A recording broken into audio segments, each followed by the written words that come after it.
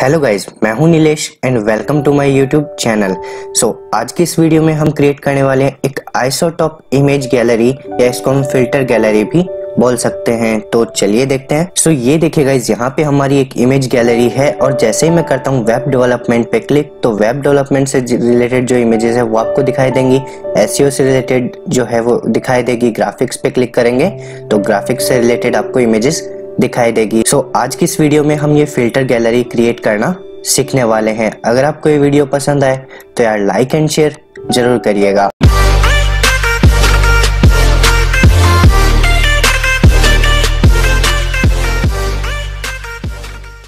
So guys यहाँ पे हमने सिंपल सा एच का स्ट्रक्चर बना रखा है, साथ में जो हमारी CSS वाली फ़ाइल है, isotop.css इसको हमने लिंक कर रखा है। तो ये हमारी CSS वाली फ़ाइल है और ये हमारी एच की फ़ाइल है तो चलिए एच वाली फ़ाइल में करते हैं कोडिंग स्टार्ट सबसे पहले एक डिव क्रिएट करते हैं और उसकी क्लास सेट कर देंगे। यहाँ पे हम कंटेनर अब कंटेनर के अंदर हम एक डिव क्रिएट करते हैं और क्लास सेट कर देंगे उसकी, क्योंकि उसके अंदर हमारे मेन्यूज होने वाले हैं। मेन्यू क्रिएट कर लेते हैं हम एक अनऑर्डर्ड लिस्ट से और उसमें क्रिएट करते हैं लिस्ट आइटम और चलिए यहाँ पे मैं क्लास सेट कर दूँगा फ़र्स्ट वाले की एक्टिव यहाँ पे साथ में ऐड करेंगे डेटा फ़िल्टर और डेटा फ़िल्टर यहाँ पे अप्लाई कर देंगे।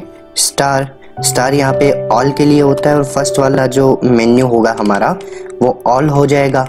सेकंड एक और लिस्ट आइटम क्रिएट करते हैं और चलिए उसमें अप्लाई करते हैं डेटा फ़िल्टर चलिए उसकी क्लास सेट कर देते हैं वेब और यहाँ पे टाइटल लगा देते हैं web same as it is क्या कर लेते हैं? इसी को कॉपी कर लेते हैं देन करते हैं पेस्ट एस के बाद अगेन एक और लिस्ट आइटम क्रिएट कर लेते हैं और चलिए इसकी क्लास सेट कर देंगे। सो ये देखिए, यहाँ पे हमने मेन्यूज क्रिएट कर लिए हैं, जैसा कि आपको यहाँ पे ये वाले दिखाई दे रहे हैं। अभी मैं इसका आउटपुट नहीं दिखाऊँगा आपको, पहले चलिए इमेजेस को भी सेट कर लेते हैं। यहाँ पे इस डिव के बाद में देखिए, जो पोर्टफोलियो मेन्यू वाला डिव है, इसके बाद में एक और डिव क्रिएट करते हैं और उसकी हम क्लास यहाँ पे सेट कर देंगे।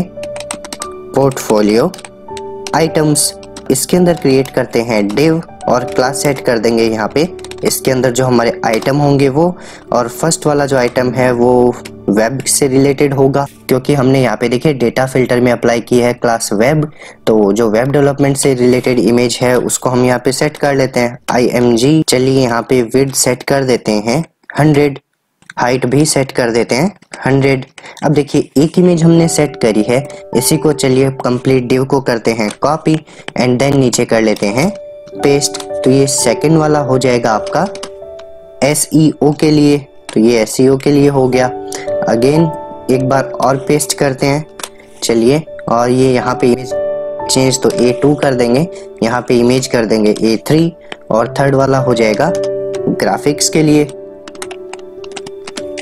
तो इसमें क्लास अप्लाई कर देंगे ग्राफिक्स यहाँ पे देखिए, हमने तीन इमेजेस क्रिएट करी है, तीनों अलग अलग डिव के लिए मेन्यूज के लिए। अब इन तीनों को कंप्लीट कर लेते हैं यहाँ से कॉपी एंड देन नीचे कर लेते हैं इस डिव के बाद में पेस्ट तो टोटल हमारे पास छह हो गए हैं। इमेजेस में कर लेता हूँ चेंज तो ए थ्री तक आ चुका है। इमेज कर देंगे ए फोर एंड देन कर देंगे ए फाइव एंड इसको कर देंगे ए सिक्स चलिए एस में हम तीन इमेज अप्लाई कर देते इसको कॉपी करते हैं और चलिए यहीं पे कर लेते हैं अगेन पेस्ट और इमेज कर देंगे ए सेवन चलिए अब देखते हैं इसका आउटपुट कॉपी फ़ाइल पाथ कर लेते हैं।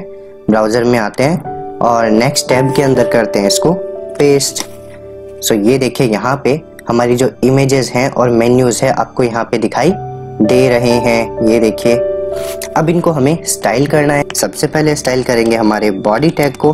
तो चलिए बैकग्राउंड अप्लाई कर देते हैं। और जो टेक्स्ट का कलर है, उसको कर देंगे हम यहाँ पे वाइट सेव करते हैं, आते हैं ब्राउज़र पे और करते हैं रिफ्रेश ये देखिए, इतना हमने कर लिया है। अब चलिए जो हमारा कंटेनर क्लास है, उसको स्टाइल करते हैं। यहाँ पे देखिए, जो हमारी क्लास है कंटेनर इसको करते हैं कॉपी सीएसएस वाली फ़ाइल में आते हैं और यहाँ पे डॉट के साथ करते हैं पेस्ट देन करते हैं इसको स्टाइल कंटेनर की विड सेट कर देंगे हम यहाँ पे 90 परसेंट की।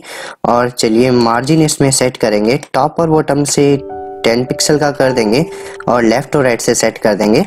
Auto, save, refresh. ये देखिए, आपको यहाँ पे ये दिखाई दे रहे हैं। अब नेक्स्ट देखिए हमें किसको स्टाइल करना है। हमें स्टाइल करना है हमारे कंटेनर के बाद में पोर्टफोलियो मेन्यू को। तो चलिए पोर्टफोलियो, जो मेन्यू क्लास है, इसको कॉपी कर लेना है। सी एस एस वाली फ़ाइल में आते हैं और यहाँ पे डॉट के साथ करते हैं पेस्ट एंड देन करते हैं स्टाइल। स्टाइल हमें क्या करना है? सबसे पहले हमें टेक्स्ट अलाइन कर देना है। Centre, save, refresh. तो ये देखिए, बिल्कुल जो हमारे मेन्यूज है, वो सेंटर में आ चुके हैं। इसके बाद नेक्स्ट हमें क्या करना है? यहाँ पे देखिए, अब देखिए पोर्टफोलियो मेन्यू के अंदर जो आपकी अनऑर्डर्ड लिस्ट है, उसके अंदर जो लिस्ट आइटम है, उसको हमें स्टाइल करना है। तो चलिए, यहाँ पे इसको कॉपी करते हैं अगेन सीएसएस वाली फ़ाइल में आते हैं और डॉट के साथ इसको करते हैं पेस्ट। मेन्यू के अंदर जो यूएल है, उसके अंदर जो एल आई टैग है, उसको हमें स्टाइल करना है। तो सबसे पहले लिस्ट स्टाइल कर देनी है नन, ताकि जो बुलेट्स है वो रिमूव हो जाए और डिस्प्ले कर देना है हमें इन लाइन ब्लॉक मार्जिन भी सेट कर देंगे. टॉप और बॉटम से कर देंगे. 20 पिक्सल आते हैं ब्राउज़र पे और चलिए करते हैं. रिफ्रेश सो ये देखिए हमारे मेन्यूज यहाँ पे आ चुके हैं. नेक्स्ट हमें क्या करना है देखिए. नेक्स्ट इसके अंदर हम अप्लाई करेंगे बॉर्डर और बॉर्डर के बाद में पैडिंग अप्लाई कर देंगे. टॉप और बॉटम से 10 पिक्सल की लेफ़्ट और राइट से 20 पिक्सल की. सेव रिफ्रेश तो ये देखें यहाँ पे हमारे जो मेन्यूज है वो बन के रेडी हो चुके हैं। अब हमें हॉवर इफ़ेक्ट क्रिएट करना है और जो कर्सर है, उसको सेट कर देना है। पॉइंटर कर्सर कर देंगे। पॉइंटर जो हमारी लिस्ट आइटम है, इसके ऊपर होवर इफ़ेक्ट क्रिएट करना है। इसको कंप्लीट करते हैं। कॉपी एंड यहाँ करते हैं। पेस्ट इसके ऊपर जब होगा होवर जो आपका बैकग्राउंड कलर है, वो तो हो जाए ये और जो टेक्स्ट है, उसका कलर रहे वाइट सेव रिफ्रेश यहाँ पे। आपको बैकग्राउंड कलर चेंज होके दिखाई दे रहा है। अब नेक्स्ट हमें क्या करना है देखिए। नेक्स्ट जो फ़र्स्ट वाला है जिसको हमने क्लास एक्टिव दी है इसका बैकग्राउंड कलर यही रहना चाहिए। बैकग्राउंड हमेशा रहना चाहिए। ये सेव करते हैं आते हैं ब्राउज़र पे और करते हैं रिफ्रेश सो so, ये देखिए यहाँ पे जो फ़र्स्ट वाला लिंक है उस पर ऑलवेज आपको बैकग्राउंड कलर दिखाई देगा। तो हमने मेन्यूज क्रिएट कर लिए हैं। अब हमें जो हमारा इमेजेस वाला सेक्शन है, इसको स्टाइल करना है। और यहाँ पे देखिए, जो हमारा नेक्स्ट डिव है, जिसकी क्लास हमने सेट करी है पोर्टफोलियो आइटम इसको कॉपी कर लेते हैं। सीएसएस वाली फ़ाइल में आते हैं। और यहाँ पे देखिए डॉट के साथ में करते हैं इसको पेस्ट चलिए मैं इसको थोड़ा ऊपर कर लेता हूँ स्क्रॉल इसकी हमें क्या कर देनी है? वेट सेट कर देनी है 100% की। एंड देन हमें नेक्स्ट क्या सेट करना है? देखिए, जो ये वाली क्लास है, इसके अंदर जो आइटम क्लास है ठीक है अगेन मैं आपको यहाँ पे दिखा देता हूँ, देखिए। पोर्टफोलियो आइटम के अंदर जो आपकी आइटम क्लास है, जो आपके इमेजेस है, ना आइटम्स वाले डिव हैं, इनको हमें स्टाइल करना है। तो आते हैं यहाँ पे और चलिए करते हैं स्टाइल विड सेट कर देनी है 250 पिक्सल की एंड इस वाले डिव की हाइट भी सेट कर देनी है 250 पिक्सल और इनको कर देना है हमें फ्लॉट लेफ़्ट और ये इमेजेस एक दूसरे से चिपकी हुई ना रहे, इसके लिए मार्जिन बॉटम सेट कर देते हैं। यहाँ पे 10 पिक्सल का और मार्जिन राइट भी सेट कर देंगे हम। 10 पिक्सल का सेव करते हैं ब्राउज़र पे और करते हैं रिफ्रेश इमेजेस आपकी काफ़ी छोटी है और दूर दूर दिखाई दे रही है, क्योंकि इसकी स्टाइलिंग हमने एच में पहले से कर दी थी। सो so गाइज़ मैंने यहाँ पे इसके लिए सेट किया था, क्योंकि जो इमेजेस है वो काफ़ी बड़ी थी। तो अब आप क्या करोगे, इनको यहाँ से रिमूव कर दीजिएगा, और रिमूव नहीं करोगे तो भी एक अलग तरीका मैं आपको बताता हूँ इनको सेट करने का। बहुत ही सिंपल है गाइज़ देखिए, इसके अंदर जो आपकी इमेजेस हैं, उनको हम एक लाइन में स्टाइल कर सकते हैं जस्ट हमें वेट सेट कर देनी है हंड्रेड की, और हाइट भी सेट कर देनी है हंड्रेड परसेंट इससे होगा क्या? जितना आपके डिव की हाइट और विर्थ है, उतनी ही आपकी इमेज की हो जाएगी। तो चलिए करते हैं सेव आते हैं ब्राउज़र पे और करते हैं रिफ्रेश परफेक्टली आपकी इमेजेस इतनी सेट हो चुकी है। तो अब नेक्स्ट हमें क्रिएट करना है हमारा वो आइसोटॉप फ़िल्टर वाला इफ़ेक्ट तो चलिए उसके लिए आते हैं हम गूगल में और सर्च करते हैं सबसे पहले isotope jQuery so so, यहाँ पे देखिए आपको फ़र्स्ट लिंक मिलेगी isotope filter and sort magical layouts इस पे हमें आ जाना है। आपको ये वाली वेबसाइट दिखाई देगी। आप क्या कर सकते हो? यहाँ से इसको डाउनलोड भी कर सकते हो या फिर आप क्या करोगे? यहाँ से सीडीएन लिंक को कॉपी कर लीजिए सी लिंक इजी रहता है गैस तो यहाँ से क्या करेंगे? सीडीएन लिंक को कॉपी करेंगे एडिटर में आएँगे और एस वाली फ़ाइल में आने के बाद में सबसे लास्ट में बॉडी टैग के पास में नीचे कर लेंगे हम। पेस्ट नेक्स्ट देखिए अगेन आना है ब्राउज़र में और इस बार हमें सर्च करना है jQuery C D N search करेंगे तो फ़र्स्ट लिंक मिलेगी, उस पर क्लिक कर देना है जे क्वेरी की वेबसाइट पे आ जाएँगे। और जो मिनीफाइड लिखा हुआ है, इस पर हमें क्लिक करना है, इस कंप्लीट कोड को करते हैं कॉपी एडिटर में आते हैं। अब देखिए, एक चीज़ मैं आपको बताता हूँ।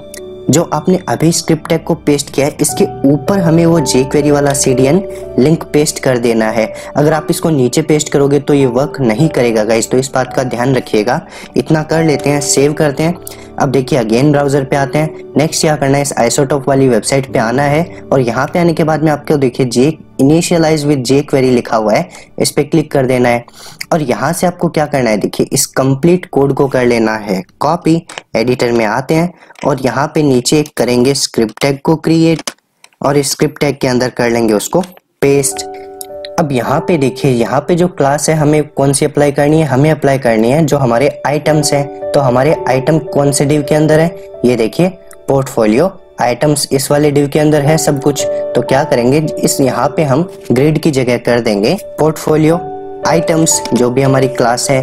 अब इसके बाद नेक्स्ट क्या करना है देखिए, यहाँ पे ग्रिड आइटम लिखा हुआ है। ऊपर ग्रिड था, उसके अंदर ग्रिड आइटम था। हमारा क्या है? पोर्टफोलियो आइटम है और इसके अंदर हमने क्या क्लास अप्लाई कर रखी है? आइटम मैं आपको यहाँ पे दिखा भी देता हूँ गाइज़ ये देखिए। हमने जो क्लास सेट करी है आइटम यहीं पे मैंने इसको टाइप किया है, ये देखिए। तो यहाँ पे हमें आइटम सेट कर देना है। अब नेक्स्ट देखिए, हमें नेक्स्ट क्या करना है। सो so गाइज़ देखिए, यहाँ पे मैंने तीन लाइन लिखी है। इन तीन लाइन का मीन क्या है? जब देखिए जो आपकी क्लास है पोर्टफोलियो मेन्यू और उसके अंदर जो आपकी एक अनऑर्डर्ड लिस्ट है, उस पर जब कोई क्लिक करेगा तो होगा क्या आपका एक फ़ंक्शन चलेगा? और क्या होगा? जब फ़ंक्शन चलेगा तो यहाँ से आपकी जो एक्टिव क्लास है वो रिमूव हो जाएगी। ये देखिए, यहाँ पे मैं आपको दिखा देता हूँ, हमने एक्टिव क्लास किस पे अप्लाई करी है? हमने यहाँ पे जो एक्टिव क्लास है, वो इस वाले फ़र्स्ट वाली लिंक पे अप्लाई करी है। ये देखिए ऑल वाले के ऊपर हमने एक्टिव क्लास अप्लाई करी थी। जब ये फ़ंक्शन चलेगा तो यहाँ से रिमूव होगी और जिस लिंक के ऊपर हम क्लिक करेंगे, वहाँ पे क्या हो जाएगी? ऐड हो जाएगी ये वाली क्लास चलिए मैं आउटपुट भी दिखा देता हूँ आपको। अभी जो इसको करते हैं रिफ्रेश तो होगा क्या देखिए? बेसिकली जब मैं करूँगा वेब डेवलपमेंट पे क्लिक तो ये देखिए, वो क्लास यहाँ से रिमूव हो गई और वेब डेवलपमेंट पे अप्लाई हो गई। एस पे क्लिक करूँगा तो यहाँ से वो क्लास रिमूव हो गई एक्टिव वाली और एस पे अप्लाई हो गई। अगेन ऑल पे क्लिक करते हैं तो ऑल पे अप्लाई हो जाएगी। ये जो मैंने तीन लाइन लिखी है, उसका मीन अब आपको समझ में आ गया होगा कि हो क्या रहा है। अब नेक्स्ट देखिए हम क्या करते हैं। अब यहाँ पे देखिए मैंने क्या किया है, एक वेरिएबल क्रिएट किया है सिलेक्टर नेम से, और जो हमारा डेटा फ़िल्टर है, उसको मैंने सिलेक्टर में स्टोर करवा दिया। तो डेटा फ़िल्टर कौन से कौन से हमारे पास देखिए डेटा फ़िल्टर हमारे पास तीन है। हमने क्रिएट किए थे ऊपर। ये देखिए data filter web S e और ग्राफिक्स और एक था हमारा स्टार तो ये सारे हमारे डेटा फिल्टर्स हैं, जिसको मैंने किसमें स्टोर करवाया है? सिलेक्टर के अंदर, जैसा कि आपको यहाँ पे दिखाई दे रहा है। जब हम किसी भी मेन्यू पे क्लिक करेंगे तो वो जो डेटा फ़िल्टर है, जैसे वेब वाले पे क्लिक करेंगे तो जो वेब वाला डेटा फ़िल्टर वो किसमें स्टोर हो जाएगा? सिलेक्टर वेरिएबल के अंदर। जो आपके पोर्टफोलियो आइटम्स हैं, यहाँ पे देखिए।